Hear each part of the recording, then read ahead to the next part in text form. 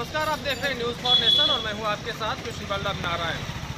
लगातार बिहार के प्रवासी मजदूरों का आना अनवरत जारी है और अब तक बिहार में लगभग एक सौ सैकड़ों ट्रेन आ चुकी हैं। लेकिन जिस तरह जिस तरह से बेगूसराय का जो ग्राफ है, जिस तरह बढ़ता चला जा रहा है, उस हिसाब से हम माने तो यहाँ पे अब जो दहशत का माहौल अब होने जा रहा है। हम बात करें, यहाँ पे लोगों की तो आप देख सकते हैं कि किस तरह से, अभी फ़िलहाल भी हम पटेल चौक पर है और आपको दिखा सकते हैं यहाँ का नज़ारा कि किस तरह से लोग बिल्कुल आराम से आ रहे हैं। हम अपने सहयोगी से चाहेंगे तो जरा कैमरा घुमा को दिखाने की कोशिश करें कि किस तरह से अभी भी लोग लापरवाह हैं और कहीं से भी ये मानने को तैयार नहीं है कि अब जो स्थिति बिगड़ने वाली है बेगूसराय की और इसमें हमें क्या करना चाहिए। न तो न तो सोशल डिस्टेंस की कोई बात रख- जा रही है और न ही भी सड़क पे आने की। आराम से देख रहे, आप देख सकते हैं किस तरह से बाइक आ रहा है रिक्शा आ रहा है।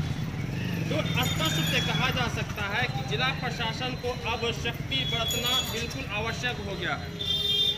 हम बात करें सिर्फ़ बेगूसराय की तो अब तक में यहाँ पे पॉजिटिव मरीजों की संख्या लगभग 40 हो गई। विगत चार दिन में इस तरह 27 से 40 हो जाना ये मायने रखता है।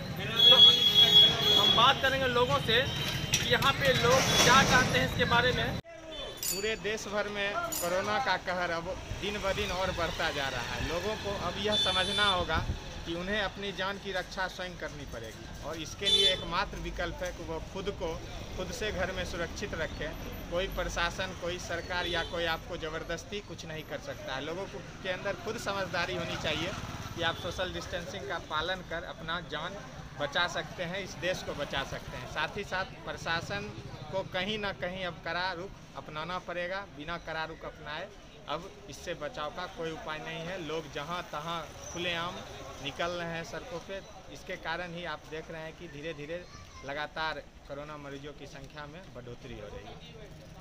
प्रशासन की भी कमी है और जनता की भी कमी है। पुलिस प्रशासन को जितना सख्ती दिखाना चाहिए, वो उतना नहीं दिखा पा रहे हैं।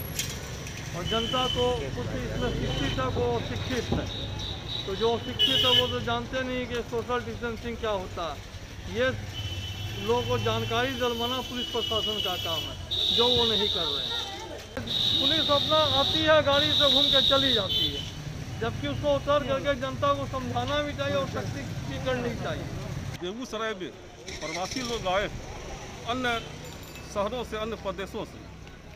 तो अभी जो है सो संख्या बढ़ी है, कोरोना पॉजिटिव हुआ है, लेकिन जिला प्रशासन और बेगूसराय की पुलिस प्रशासन को इस पर ध्यान देना चाहिए कि लॉकडाउन में जो है सो आवाजाही भरपूर मात्रा में चल रहा है, चाहे गाड़ी घोड़ा हो या लोग, और दुकान भी खुली हुई नज़र आती है। पुलिस प्रशासन पर नियंत्रण बेगूसराय के एसपी का होता है, न कि कोई नेता कार्यकर्ता का होता है। और माननीय एसपी साहब और डीआईजी साहब बेगूसराय में बैठते हैं तो इस पर ध्यान देने की ज़रूरत है, यदि नहीं रोका गया आवाजाही तो हम इसका अपील तो हम नहीं कर सकते हैं, लेकिन भयावह रूप बेगूसराय में ले ले कोरोना का।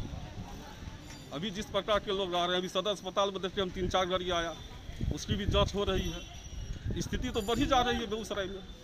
स्थिति लेकिन खराब हो जाएगी बेगूसराय की। बेगूसराय के प्रशासन को इस पर ध्यान देने की ज़रूरत है। बेगूसराय ही नहीं, बल्कि पूरे देश में मरीजों की संख्या बढ़ रही है। और चूँकि लॉकडाउन का 45 दिन हो गया है, लोग जो है अपने घरों में परेशान हैं। दैनिक आवश्यकताओं के कारण परेशानी है। लोगों के घर में पैसे नहीं है जो जो डेली वेजेस लोग थे, जो रोज कमाते, खाते थे, उनके घर में अलग परेशानी है। तो लोगों को अपने अपने काम से तो बाज़ार जाना पड़ेगा। लेकिन प्रशासन को कुछ ऐसा रोटेशन में एक तरीका अपनाना चाहिए, जिससे एक बार में भीड़ कम से कम जिससे कि जो ट्रांसमिशन है कोरोना का वो घटे। हमें लगता है कि अभी प्रशासन को अपनी सख्ती बरतनी चाहिए, लेकिन लोगों की समस्याएँ जो है, उस पर भी ध्यान देना चाहिए।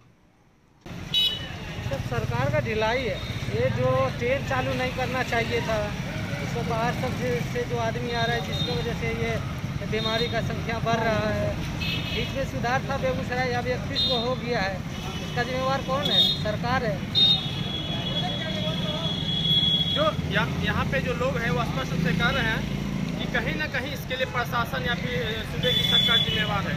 लेकिन स्पष्ट रूप ये तो कहा जा सकता है कि यहाँ के जो लोग हैं वो जागरूक नहीं हो रहे हैं।